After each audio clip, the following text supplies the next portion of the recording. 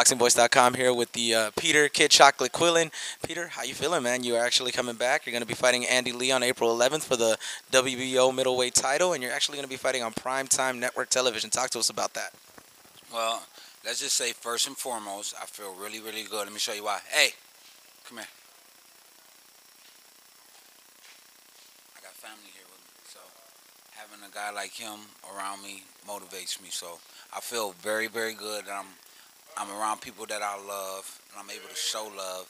Most importantly, I'm just getting to the mind state that I'm I'm just gonna be relentless and unstoppable, and you know, it's history being made, and my legacy is important to me. Which family member is this one? This is my my dad. Oh, So th- this is my dad.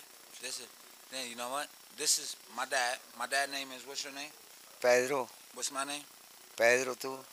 So he named me Peter, and I said, why you didn't name me Pedro? And it's actually because I'm named after my father. I'm my father's junior in this country, but he has another junior in Cuba. So I'm named after my brother. I'm named from my dad to my little, uh, my older brother, and then me, with the same name. And his son actually name is Pedro. And my dad said, why you didn't name your son Pedro? I said, it's too many Pedros. All right, like we said, we're fighting on network television. You know, the biggest thing that happened last year, of course, was you vacating your WBO title, and you were announcing that a lot of big news was coming up, and that's the reason why you did it. We obviously see what the big news was. It was network television. It was no matter what a fight for the WBO title. You're fighting a bigger name because you were supposed to fight Korobov, but you're now fighting Andy Lee, who is actually a bigger name than Korobov. And what everybody's saying is you're getting more money. Talk to us about back then when you vacated the title and what was actually told to you and why you actually came to that decision to vacate.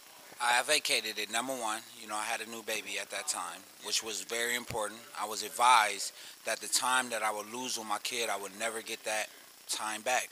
So if anybody want to say anything about what my advisors say uh, to me, it's not about just fighting. It's about my well-being as a human being and being a father. So having the time with my kid was important to me, and now I learned what important important thing that was for me to have that. You know what I mean? Because that time you never get back. My uncle was struggling with cancer. Um, wasn't something I was openly speaking about because it was so emotional for me that um, he just passed like uh, three weeks ago. Just got buried, and um, it was the one of the hardest things I ever had to fight through and learn to deal with.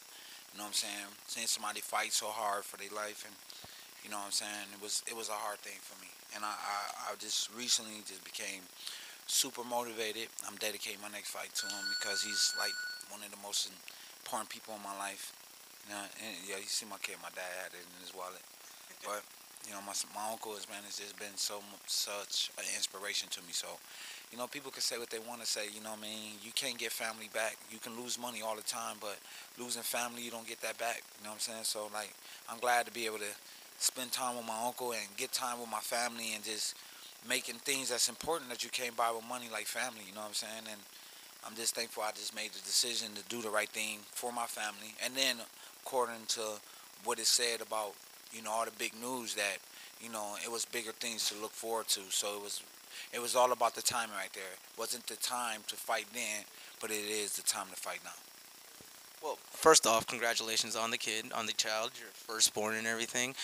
Talk to us about the motivation of actually now being a father and fighting for the first time since being a father.